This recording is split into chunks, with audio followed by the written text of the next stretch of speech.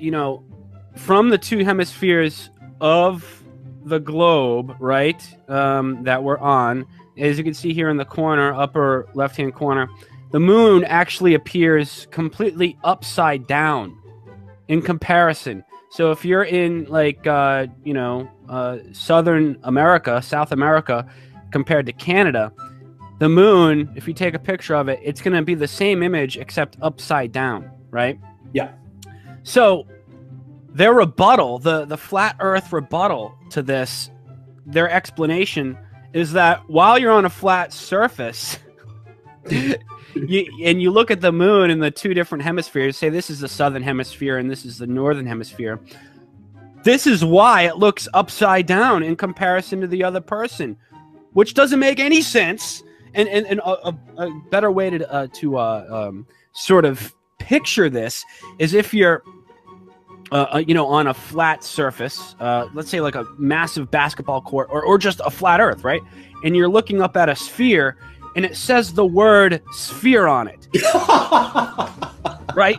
Yes. And, and, and how? And I want people to, you can't explain this rationally. Anybody who says you can is suffering cognitive dissonance or they're a shill.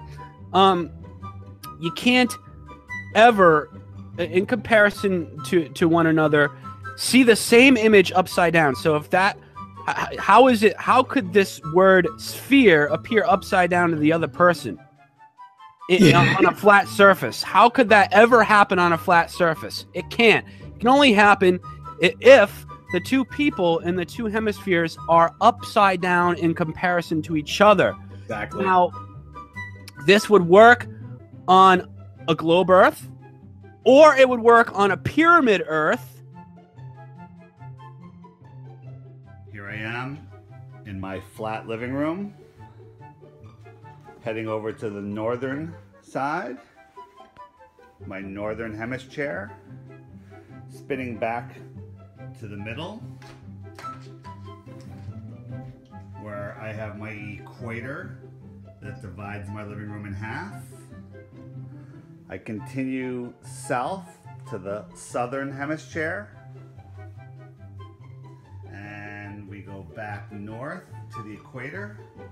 We look up, and there's our shill in the moon. Heading over north, we turn around, we look up at the moon, and there's our shill in the moon looking right at us.